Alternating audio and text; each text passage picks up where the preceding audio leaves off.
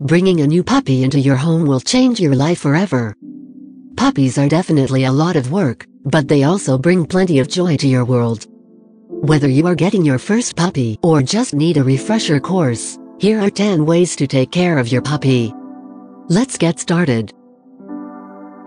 Number 1 is choosing the right puppy. If the time is right for getting a puppy, you will now have to choose the best match. Perhaps your future companion will find you.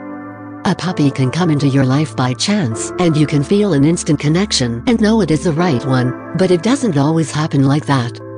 Often, you must take on the important task of going out and finding the right kind of puppy for you. Number 2 is getting your home ready for puppy. Before you bring home your cute little furball, you need to ensure that your home is as safe as possible, both for your new puppy and your belongings. The puppy proofing process is similar to toddler proofing a home, but there are differences. First, get an idea of the puppy eye view of your home. Electrical cords, potential toxins, and breakable items should be placed completely out of reach. Remember that your puppy can jump, climb, chew, and scratch. So place what you can very high up or in a locked cabinet. Number 3 is naming your puppy. As your puppy joins the family, the all-important job of naming this new addition is a priority. Obviously, you will be using your dog's name constantly throughout his life, so your choice should be a wise one. Pick something that has a nice ring to it and is not too long. It should be easy to say and simple for your puppy to understand. It's also important that your dog's name does not sound too similar to other words you plan to teach it. Number 4 is Essential Puppy Supplies. Your new puppy will need certain items from the very start. Some are essential for your pup's well-being, while others are quite helpful.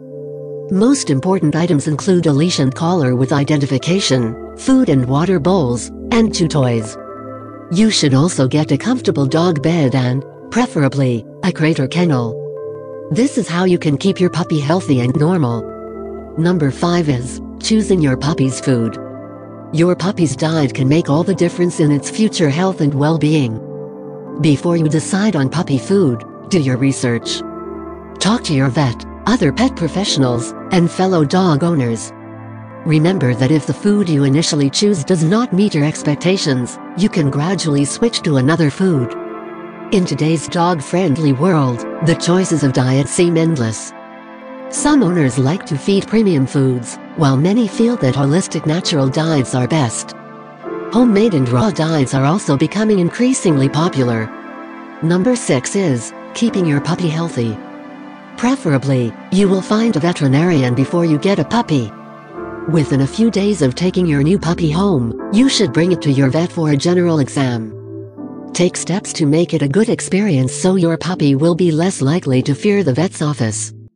Over the course of your puppy's first six months, you will see a lot of your vet. This begins with puppy vaccines and usually leads to spaying or neutering. Typically, puppies should be spayed or neutered at around six months of age.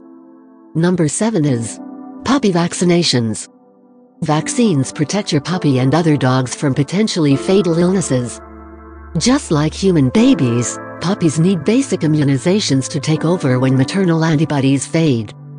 The puppy vaccination series is one of the most important aspects of your dog's early life. Number 8 is house training your new puppy. House training is one of the first things you will teach your new puppy. This process can sometimes be quite arduous, though some puppies catch on earlier than others.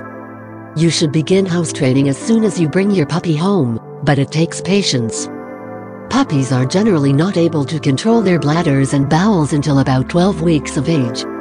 If your puppy is younger than this, just be patient. Number 9 is basic puppy training and socialization. Beyond housebreaking, there are many more things you will need to teach your dog. Start by working on socialization.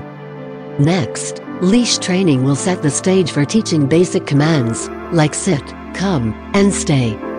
Teaching various basic commands can help you curb some behavior problems. And number 10 is bonding with your puppy. The bond you have with your puppy begins the moment it comes into your life and never stops growing.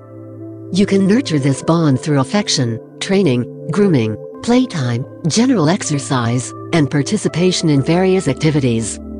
You may want to join an obedience class, start training in dog sports like agility and flyball, or participate in dog shows. One of the kindest ways to bond with your dog and allow your dog to bond with others is to get involved with animal-assisted therapy. If your puppy is right for therapy, it can begin training to visit people in hospitals and nursing homes or help children to read and learn. Strengthening and preserving the human canine bond benefits the health and well-being of both you and your puppy.